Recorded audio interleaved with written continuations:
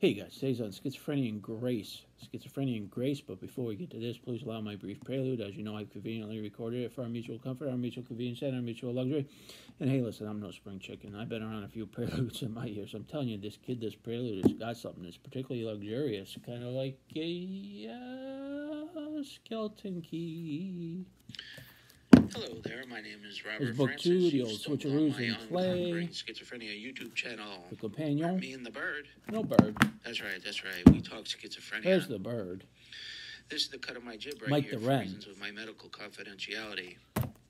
I'm a licensed clinical social worker times 15 Book years. two, The Basics That's a lot of gabbing on and chatting. schizophrenia. I thought everybody I've should been know. diagnosed with schizophrenia for a score five and one. Companion, That puts a little gray fleck in my beard.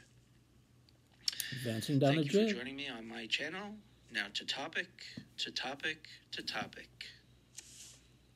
I think the universe is graceful, and uh, when we uh, attune ourselves with the universal grace, life is uh, life is interesting, perhaps elegant.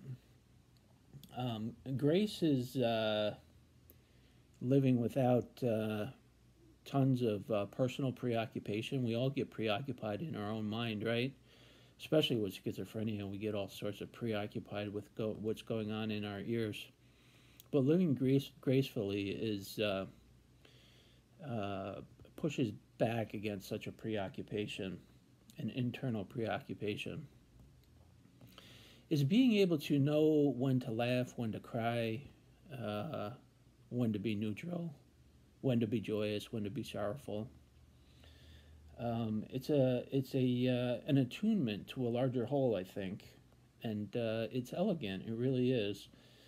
Um, sometimes we need to get out of our own uh, head somewhat, in, in terms of especially with schizophrenia, because it's a primary thought disorder.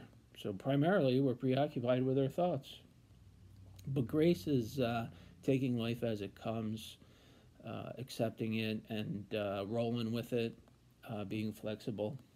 So, if you can tap into a, uh, a sense of uh, grace, it's good stuff. It's good stuff, the best of stuff sometimes. The old skeleton key. The old locks used to be skeleton skeleton keys. You used to put them in the old locks. I miss those days. And then uh, the one key could open many, many doors the old skeleton key. You might not even know what I'm talking about. And that would uh, date me. All right, guys. Have some grace, and we'll see you next time. Thanks.